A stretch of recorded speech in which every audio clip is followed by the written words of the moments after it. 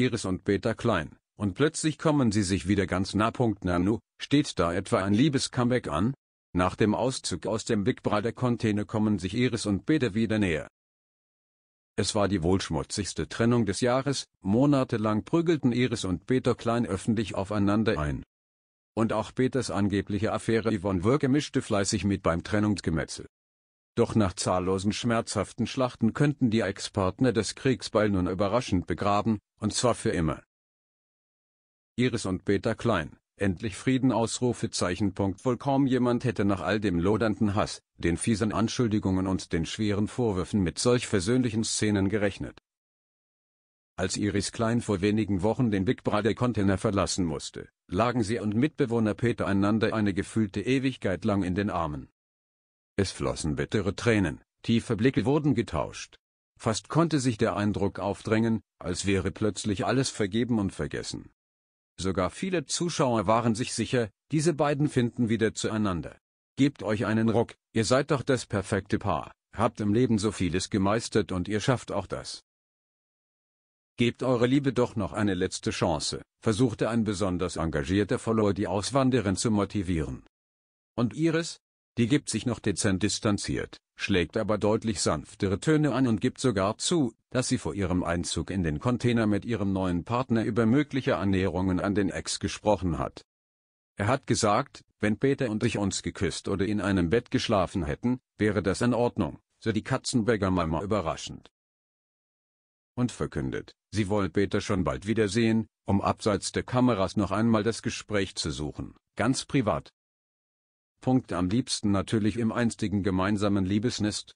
Ich möchte natürlich auch meine Hunde besuchen, die durfte ich die ganze Zeit nicht besuchen und die Finca nicht betreten, erzählt sie. Doch solche Schikanen gehören nach der Kuschelrunde im Container wohl endgültig der Vergangenheit an, jetzt darf ich auch meine persönlichen Sachen holen. Ich hoffe, dass er sein Wort hält, so Iris. Punkt über die beinahe Versöhnung freuen sich vor allem die unfreiwilligen Leidtragenden des Trennungskrieges. Ich habe keinen Papa mehr, Sophia keinen Opa mehr, beklagte sich Dani noch vor einiger Zeit. Denn Peter hatte striktes Kontaktverbot zu allen Iris-Angehörigen und war daher gezwungen, seiner geliebten Stiefenkelin via Instagram zum Geburtstag zu gratulieren. Doch das alles hat jetzt ein Ende. Auch Danielas Ehemann Lukas, der sich immer prächtig mit seinem Schwiegervater verstand, freut sich über die aktuellen Entwicklungen. Wenn man erreicht hat, dass sie jetzt wieder gut miteinander umgehen, sich auch nochmal aussprechen, dann haben alle Parteien gewonnen, so der Sänger optimistisch. Mit ihrem unerwartet freundlichen Aufeinandertreffen bei Promi Big Brother haben Peter und Iris jedenfalls bewiesen, dass das Band zwischen ihnen doch noch nicht ganz zerschnitten ist, dass Gefühle der Zuneigung und Zusammengehörigkeit den Rosenkrieg überlebt haben. Punkt und wer weiß, vielleicht gibt es ja sogar schon an Silvester die ganz große Versöhnung. Auch wenn wir es nicht verstanden haben, Unsere zwölf Monate mit den Mallorca-Residenten Iris und Peter Klein. Tränen bei Peter Klein und drei geflüsterte Worte. Iris Kleins Zeit bei Promi Big Brother endete emotional. Der Rosenkrieg im Fernsehen, Mallorca-Residenten Peter und Iris Klein bei Promi Big Brother. Kurze Zeit später löschte Iris Klein plötzlich alle Fotos mit ihrem neuen Freund auf den sozialen Netzwerken. Die Gerüchteküche brodelte über. Ist die Ehe der Kleins doch noch zu retten? Nein. Denn wie die Bild berichtet und Peter Kleins Manager der MZ am Freitag, 29. 12. bestätigt, hat der Sänger einen Tag vor dem Einzug bei Big Brother offiziell die Scheidung eingereicht. Damit erfüllt sich der Wunsch, den Iris Klein mehrfach in den vergangenen Monaten geäußert hatte. In den sozialen Medien beschwerte sich die Mutter von Daniela Katzenberger immer wieder, dass Peter Klein die Scheidung herauszögere und die nötigen Papiere nicht unterschreiben wolle. Zu dem Thema haben sich beide in den vergangenen Tagen nicht geäußert. Geld steht weiter zur Debatte. Ein Problem bei der Scheidung ist der finanzielle Ausgleich. Er fordert Geld von mir. Ich hatte ihm freiwillig 60.000 Euro angeboten, er will 100.000 Euro, zitiert die Bild Iris Klein. Dieses Zugeständnis ist neu.